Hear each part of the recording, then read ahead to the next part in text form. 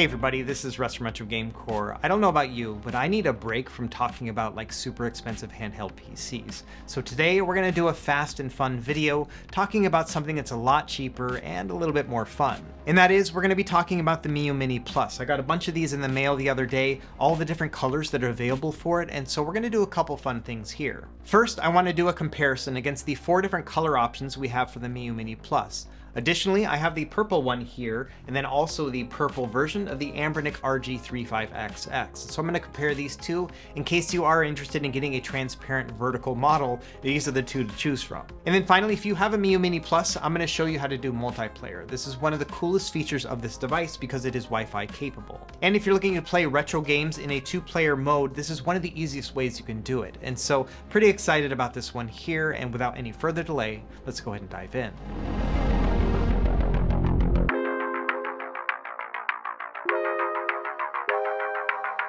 Okay, as we get started here, I want to talk a little bit about what it's like to buy the Miyoo Mini Plus because you have a few options. And I feel like this is something I need to do with every one of these videos. To start, there is the AliExpress route, so you can buy it directly from Miyoo there. And this will be the cheapest way to buy the Miyoo Mini Plus. You can usually find it for about $65 when they have it in stock. And that's actually the main issue because as soon as they have one available, they usually will sell out within a matter of a couple minutes. And that's because there are bots buying it, and then also other people who have like stock alerts set up on Twitter, and so they immediately get it as soon as it's there. And so for the casual buyer, it's going to be very difficult to buy it from Miyoo directly on AliExpress. Now, some of the people who are buying them directly from Miyoo are then reselling them on eBay as well as on Amazon, and you can find them there. Typical price is going to be about 85, maybe $90 per unit. So that's going to be a 20 or $25 markup, but then also some of those ship with like Amazon Prime, so you can get easy returns if there is an issue. And then finally, there is a third option to use distributors. So one of them that I usually work with is called keepretro.com.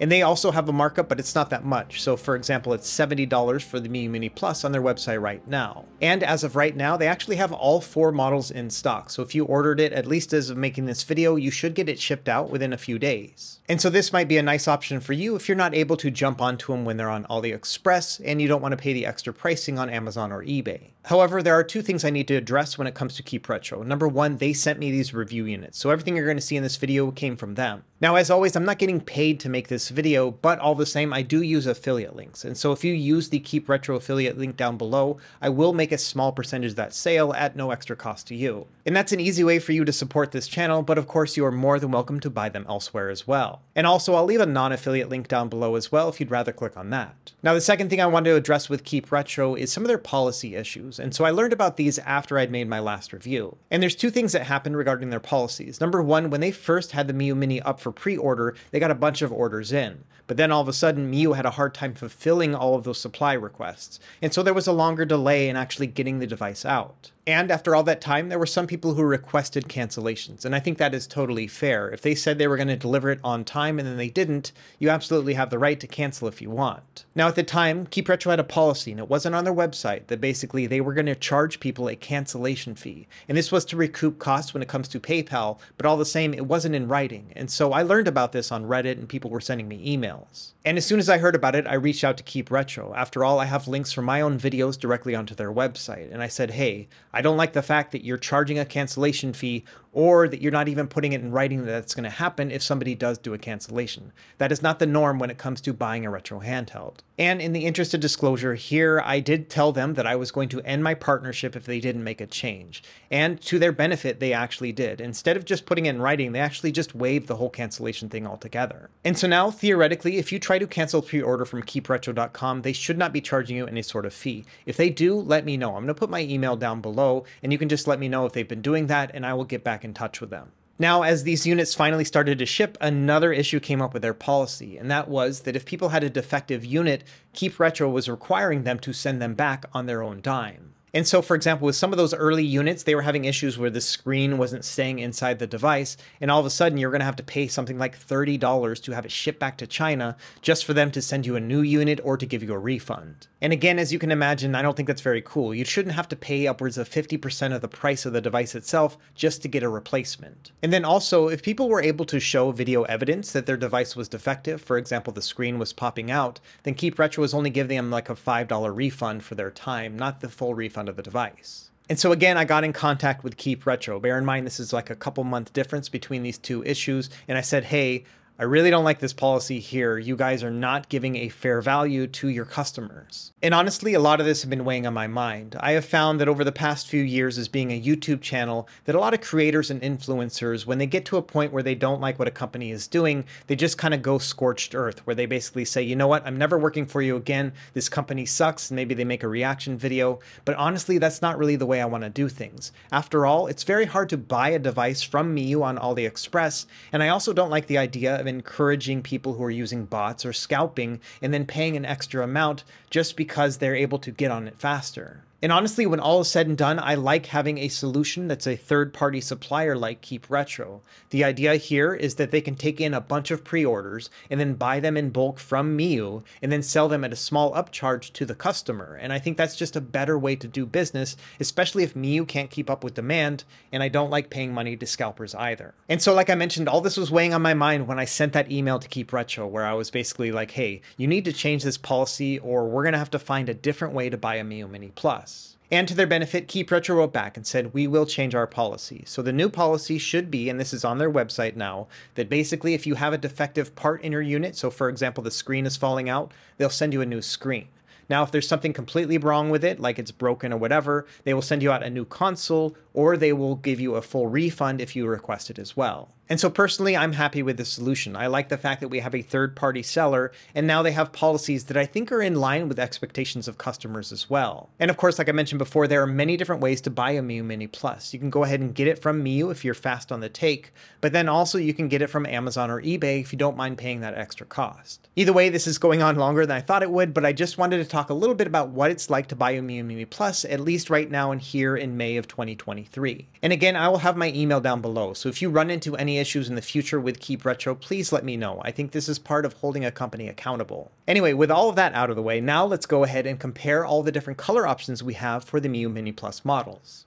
Okay, and so here are the four color options that we have right here. Starting on the left, we have the gray model, then white, transparent black, and transparent purple. And beyond just the colors, there are some other subtle differences. For example, on the left side, you can see that the D-pad, the menu button, and select and start buttons are all gray on the gray and white models. And then of course you can also see that the face buttons are different. So you have a rainbow pattern here with the white and transparent black models. And it looks like the purple buttons that are on both the gray and the purple model are the same. It is kind of hard to tell just because the purple case does make those buttons look a little bit pinker. Now between the two transparent models, it looks like the purple one is more transparent than the black one. So that's really going to come down to personal preference and how transparent you want your device to be. Another thing I noted is that the two models on the left have a little bit different texture on their plastic compared to the transparent models. And bear in mind that because these are brand new units, they might wear down over time, but as it stands right now, both the gray and the white models have a little bit more texture to them. It's almost like the plastic has a bit of a more powdery feel to it when you rub your finger across. Meanwhile, both the transparent models are a little bit more slick. And I've had the transparent black model for a couple months now, and these both feel to be about the same amount of smoothness. And really, when it comes to appearance, other than the colors, that's really the major difference between these four. When it comes to the feel of the buttons and the D-pad, all that other kind of stuff, yeah, it feels exactly the same between these four models. However, there are a couple other things I want to test. For example, we have LED lights at the top of this device when you turn it on. And so what I want to do here is turn them all on and then turn off the studio lights just so you can see how much light bleed you will get with the transparent models. And this is a very similar experience to the previous Miyoo Mini models. Those ones had a transparent blue model, and that one had a much brighter LED. And as you can see in the footage here, the purple one, which replaced the blue one here, also takes up that mantle of having the brightest LED. However, you might really enjoy that nostalgia of having like this bright glaring LED in your face while trying to play a game. And of course, with the solid models, when you're actually playing the device, you won't really even notice it at all. So obviously it's going to be up to you when it comes to light bleed, but for me personally, I think the transparent purple one is just too bright.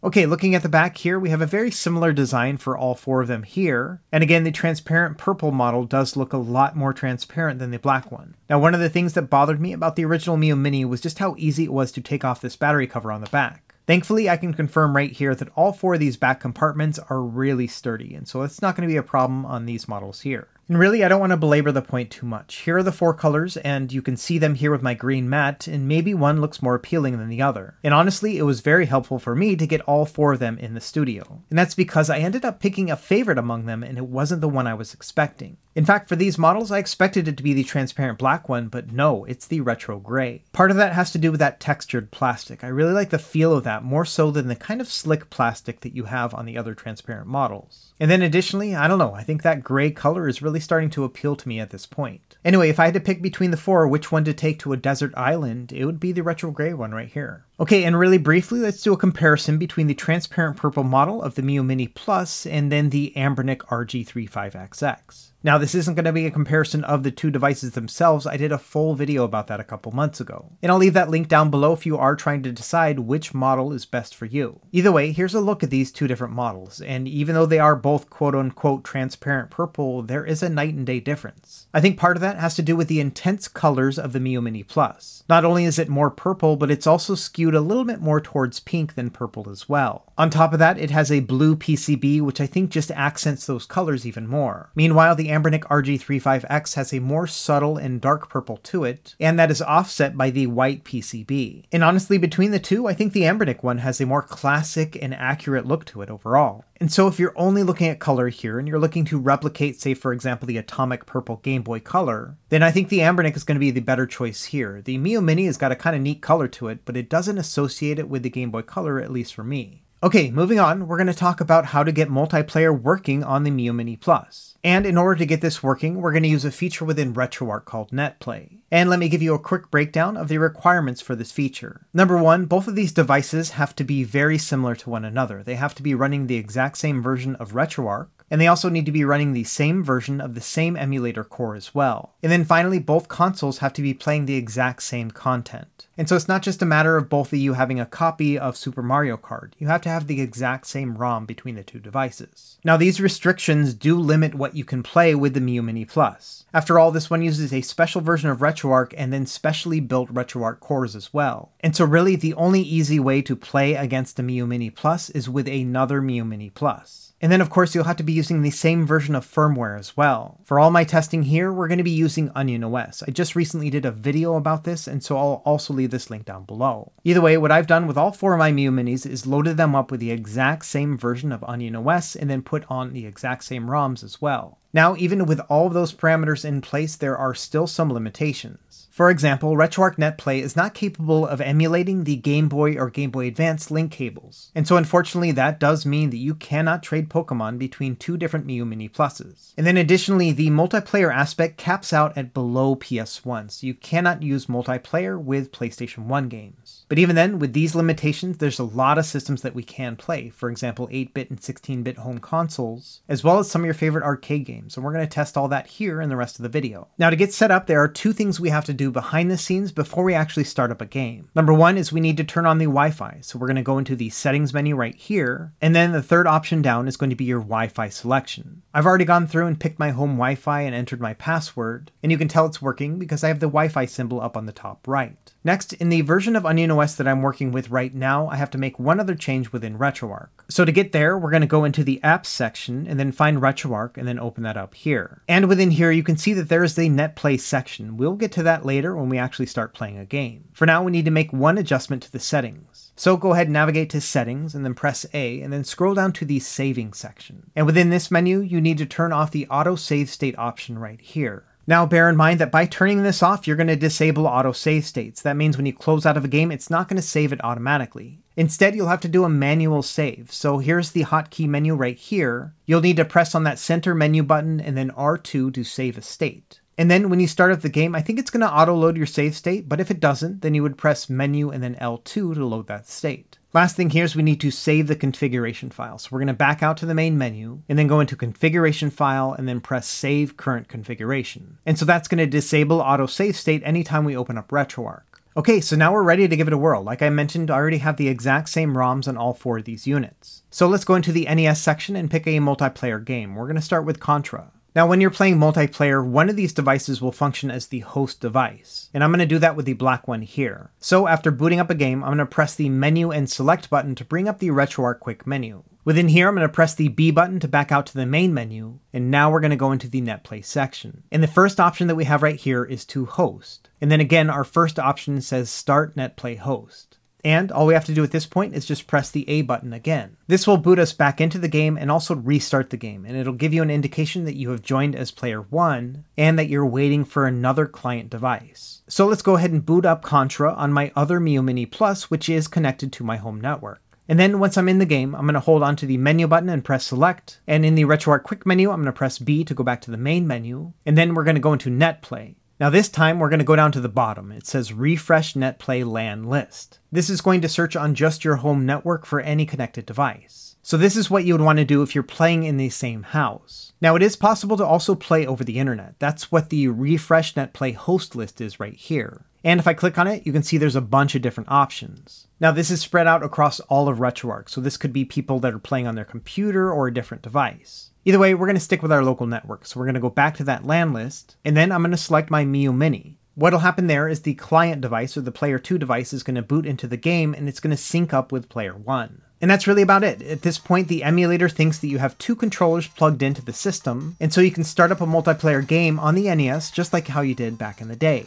And I'm going to do two things right here. Number one, I'm going to do some tests so you can see the latency between the two, so I'm going to jump around and shoot my gun and things like that. But then also, I'm going to kind of explain this so you can kind of frame your head around how this works. The way I like to think about it is that both of these screens are basically acting as the same television. And so if you remember back in the day when you had an NES plugged into a TV, you would have your two controllers and you're both staring at the same screen. And that's kind of similar to what's happening here, but both players are staring at the same screen but on two different devices. Another thing to note is that if one of these devices gets disconnected, what'll happen is the one that is still connected will just take over. And if they were player 2 before, they are now going to be player 1. Of course, it's going to be a little bit weird because the player 2 is just going to kind of sit there at that point, but essentially that's what's going to happen if one of them loses connection during the game. Alright, let's do a little bit more testing. So next up we're going to do the TurboGrafx 16. And for this we'll play the game here called Aeroblasters. And it's going to be the exact same process here. So on the left one here, I'm going to open up the RetroArch menu. I'm going to go into NetPlay and then Host and then Start NetPlay Host. It's going to say I've joined as player one. And then on the other device, I'm going to go into the RetroArch menu again. And this time when I go into the NetPlay section, I'm going to refresh the LAN list. I'm going to find my Onion OS device right here. And then once I press A, they're going to sync up and we're good to go. From there, you just want to select a two-player game. And just like that, we are now playing Aeroblasters in two-player mode. Now, of course, don't pay any attention to what I'm actually playing on the screen right here. This really hurts my brain to try to play two players at once. But as you can imagine, if I had another person here in the studio with me right now, then we could both play the same game right here. Now, there is one system that's a little bit problematic just here in this latest build of Onion, and that's going to be any of those Sega systems that use Pico Drive as its core. So that's going to include Sega Master System, Genesis, Sega CD, and 32X. And what's going to happen here is they can connect no problem whatsoever. However, once you are connected, it's not going to detect the second player's controller.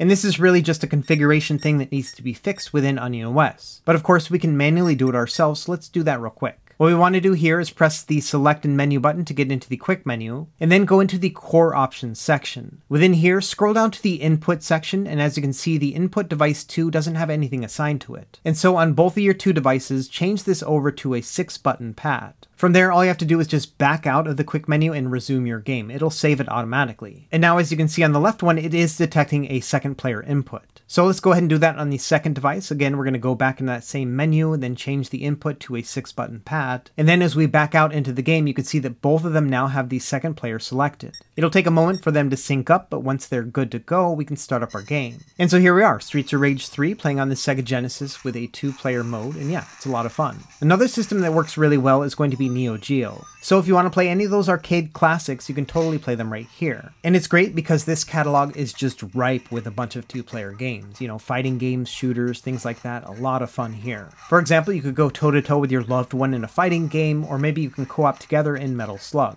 Now, after doing all this testing, I started to get really ambitious, and I thought, okay, let's do a four player game next. And of course, one of the best ways to play four player games is going to be with an arcade system. And so here I am with all four of my Miyoo Minis plugged into the same four player version of X Men on the arcade and this is using the default MAME 2003 Plus core. However, I found that when trying to host a game with this core, it would actually freeze the device up. And so unfortunately, at least with the default arcade core, it looks like you cannot play multiplayer games. But thankfully, Onion OS comes with a bunch of different arcade cores, and there is one that works really well. So let me show you how to install that one real quick. we're going to go back into the main Onion OS menu and then go into the app section. From here, we're going to go into the package manager. And then once you have that booted up, you're going to press the R2 button a couple times to get into the expert section. And within here, you want to enable the Final Burn Neo core like I have right here. And I've already done this, but basically all you have to do after that is just press the start button twice and you're good to go. After that, you're going to want to turn off your device, take your SD card, put it in your computer, and you'll find a Final Burn Neo folder within your ROMs folder. And from there, you're going to want to put in Final Burn Neo compatible ROMs. And of course, do the same thing for all the other Miyoo Mini Pluses that you have so that they're all compatible with the same core and same ROM.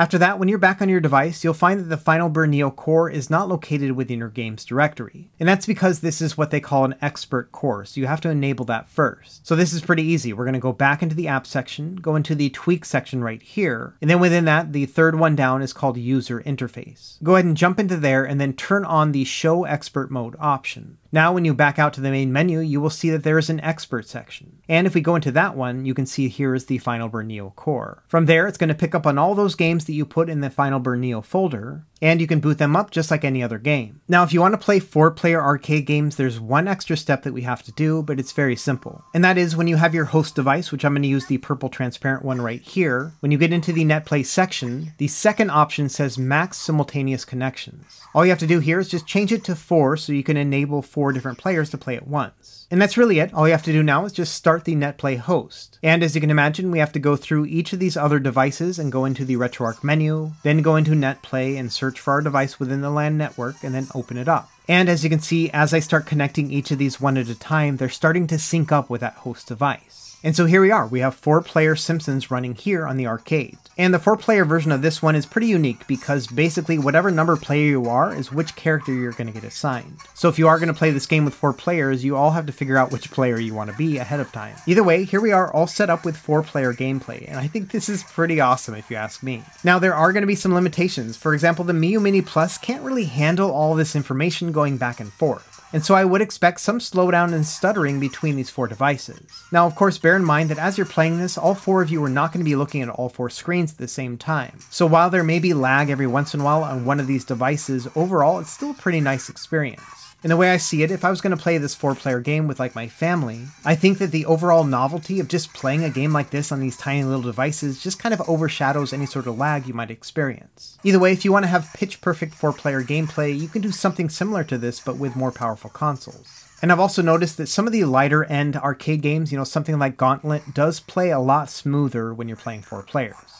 so you may want to hold back and not play something that's quite as labor intensive as The Simpsons or even the X Men arcade. Now, for me personally, seeing a four player X Men arcade like this really fills me with nostalgia. This was one of my favorite arcade games when I was a kid, and so it's super cool to be able to see this like that. But of course, again, you will experience some lag, and so you just kind of have to be a little bit forgiving as you're playing it. And finally, the last system I wanted to touch on is going to be Super Nintendo, because this one does require a bit of a workaround as well. For example, if you start up with the default core within Super Nintendo, you can start up your host application. However, when you use your client device or your second player device, when you try to refresh the LAN list, the other Miyoo Mini will show up, but it won't allow you to connect to it. Instead, it'll give you an error that says no core found. Now luckily this isn't the end of the world, all you have to do here is just use a different RetroArch core. And I found that this one right here, SNES 9X 2005 Plus works really well. And so it's going to be very similar to how we set up Final Burn Neo. But the nice thing about this one is that it'll actually pull the same ROMs from your Super Nintendo folder as your default core. And so you don't have to add any extra games to it, you just have to add this one extra app right here. And then of course, once you have that set up, you can go ahead and connect and it's going to have absolutely no problem getting connected. And so here we are playing Super Mario Mario Kart in two player mode, and that's super cool as well. And of course, it is going to show split screen because it was split screen back in the day on the TV. Either way, if you do want to play multiplayer Super Nintendo, it is absolutely possible, but you have to use that one specific core. Okay, and really that's about it for this video here. I wanted to show you how to set up NetPlay on the Miyoo Mini Plus. Personally, I think the Wi-Fi connection on the Miyoo Mini Plus is one of the best benefits of this new upgraded console. Yes, it can only play up to PS1, and yes, it's a little bit bigger than the original Miyoo Mini, but all the same, with Wi-Fi we have a lot of different options. Not only can we do multiplayer like I showed in this video here, but we have the ability to connect for retro achievements as well. And if like me, you prefer to use a custom operating system like Onion OS, this one is also capable of over-the-air updates. And so really, once you install this onto your card one time, you never have to do anything else again. From From there, you'll be able to update it directly onto the console without having to take the card out. And they've also got some other great options like FTP, so if you wanted to transfer files onto the device without taking out the card, you can do that too.